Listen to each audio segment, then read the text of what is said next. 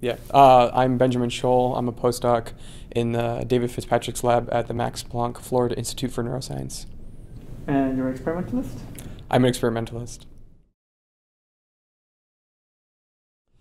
So theory, I think, plays two roles within the framework of the science that we do. And the first is that is probably the, the more unfortunate or silly version, which is that it helps us explain our data. So in many cases, we just do an experiment and for, because we have some crazy idea or we have some interesting idea that we want to explore. And then we don't understand our data or we want to understand our data further beyond the more simplistic approach that we usually take. And I think that's where generally theory comes in and then sort of helps us uh, helps us sort of delineate different aspects of our data or characterize it in a much better way that illuminates sort of the questions that we're trying to understand. And in many cases, I think it helps us better understand the questions that we first asked, to be honest. But unfortunately, I think what I would really like theory to be doing is actually trying to make predictions to try to drive the experiments that I want to do.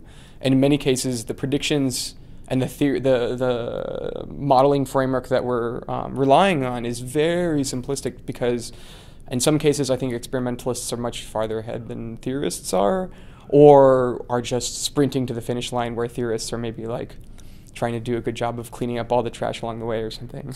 I shouldn't say trash.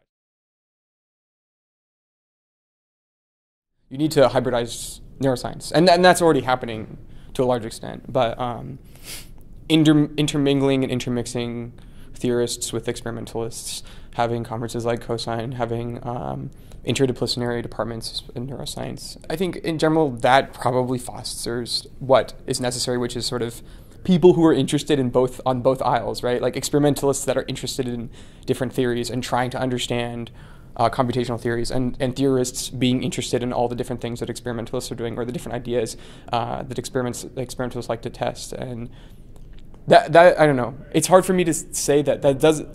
I wish that existed more. Maybe it does exist a lot more than I than than than is the reality. But I did come from a place where it, that was the norm, right? So I came from UT Austin, and that was how everything worked there. Everybody intermingled together, and everybody liked what everybody else was doing.